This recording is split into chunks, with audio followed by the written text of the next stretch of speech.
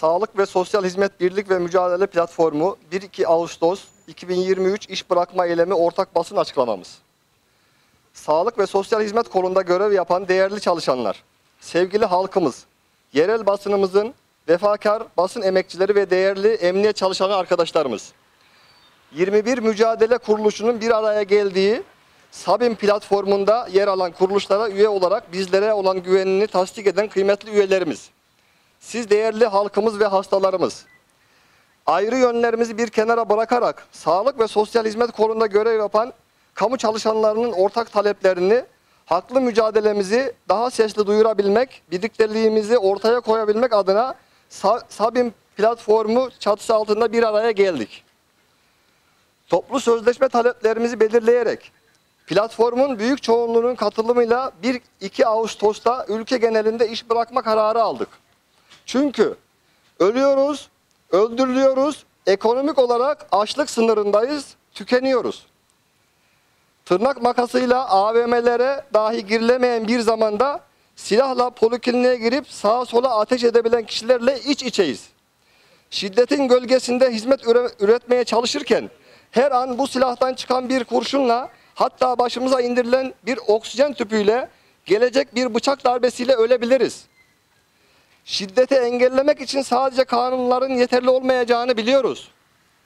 Rant alanına dönüştürülen ve kışkırtılan sağlık talebi, saygının yok edilmesi, es- eksik istihdamla verilmeye çalışılan hizmet, sanal kuyruklar, 5-10 dakika muayene süreleri.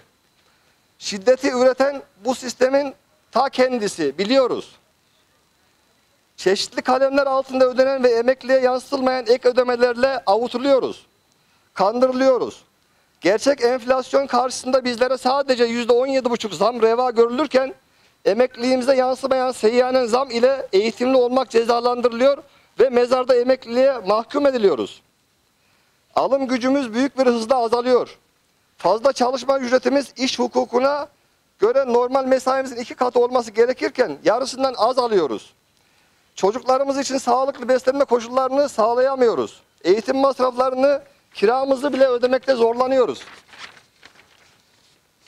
Uluslararası aile hekimliği uygulamaları, uygulamaları ile ilgisi olmayan düzenlemeler, yetersiz aile sağlığı merkezi gideri ödemeleri, yetersiz aile hekimi ve aile sağlığı çalışanı sorunu çözülmüyor.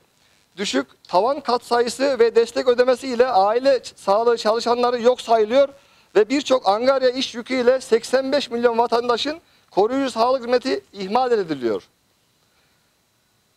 2010 yılından bu yana sayısız başarı elde etmiş aile hekimliği uygulaması liyakatsiz eller sebebiyle geriye gitmeye devam ediyor. 5258 sayılı aile hekimliği kanunu düzenlemek yerine 657 sayılı kanuna göre ceza verilerek anayasal haklar görmezden geliniyor. Liyakatsizlik ve art niyet yönetimdeki etki alanını giderek artırıyor. Sağlık sistemindeki kargaşa ve huzursuzluk nedeniyle hekimlerimiz, hemşirelerimiz, ebelerimiz, teknikerlerimiz, teknisyenlerimiz, genel idari, teknik ve yardımcı hizmetler sınıfındaki çalışanlar gibi sağlık ekibinin hiçbir üyesi artık nefes alamıyor. Nefes alamıyorum, imdat demeyen kimse kaldı mı aramızda? Daha ne kadar dibe vurabiliriz? Artık göğsümüzü gere gere hekimim, hemşireyim, ebeyim, sağlık çalışanıyım demeyi geçtik. Çalışanlar olarak memurum demekten utanır hale geldik. Ayrıca Sarı Sen'in toplu sözleşme teklifinde ileri sürdüğü dayanışma aidatını kabul etmiyoruz. Sendikal ikramiyenin barajlara bağlanmasını kabul etmiyoruz. Yetkili sendika tarafından kullanılan ve ayrımcılığa yol açan tabip dışı ifadesini kabul etmiyoruz. Ne yapacağız? Kafamızı öne eğip boş ver böyle gelmiş böyle gider başımı derde sokmayayım mı diyeceğiz.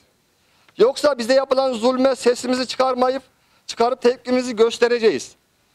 Tabii ki demokratik tek- tepkimizi meşru zeminde göstererek hep beraber tek bir ağızdan artık yeter, hakkımızı verin diyeceğiz. Biliyoruz ki sağlık en temel haktır. Sağlık hizmetleri bir ekip işidir ve bir bütündür.